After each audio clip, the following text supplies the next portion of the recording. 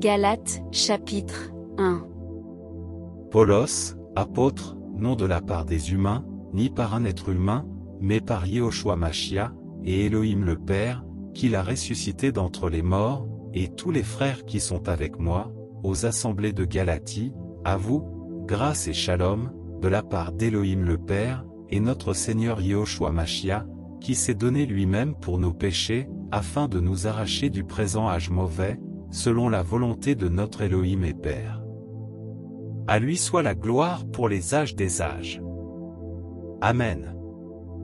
Je m'étonne que vous vous détourniez si rapidement de celui qui vous a appelé, par la grâce du Machia pour un autre évangile. Non qu'il y en ait un autre, mais il y a des gens qui vous troublent et qui veulent renverser l'évangile du Machia. Mais si nous-mêmes, ou un ange du ciel vous prêche, un autre évangile que celui que nous vous avons prêché, qu'il soit anathème. Comme nous l'avons déjà dit, je le dis encore maintenant, si quelqu'un vous prêche un autre évangile, que celui que vous avez reçu, qu'il soit anathème. Car maintenant est-ce la faveur des humains que je désire, ou celle d'Élohim?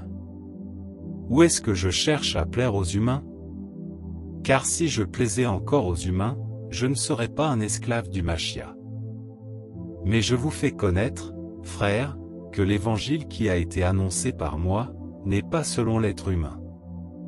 Car je ne l'ai reçu d'aucun être humain, personne ne me l'a enseigné, mais par le moyen de la révélation de Yehoshua Machia. Car vous avez entendu parler de ma conduite autrefois dans le judaïsme, parce que je persécutais excessivement l'assemblée d'Élohim, et la ravageais.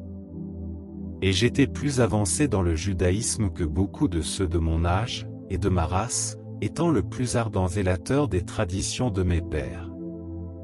Mais quand il a plu à Elohim, qui m'avait choisi dès le ventre de ma mère, et qui m'a appelé par sa grâce, de révéler en moi son Fils afin que je le prêche parmi les nations, immédiatement, je ne consultais ni la chair ni le sang, et je ne montais pas non plus à Jérusalem vers ceux, qui furent apôtres avant moi, mais je partis pour l'Arabie, et je revins encore à Damas.